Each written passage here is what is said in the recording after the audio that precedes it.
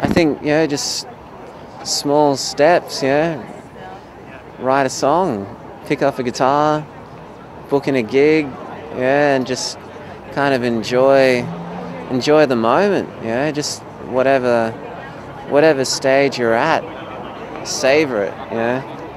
And when you were just starting out, I mean, what was that that moment when you realized you were getting your big break? Well, I think when we got free beer, that was it. I couldn't believe it. We, we, uh, we got to play in front of some people, and we they were just this pub that we usually went to watch bands at.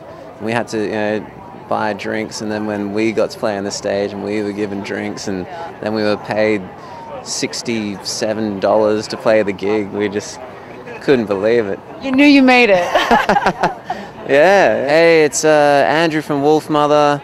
Check out exploretalent.com.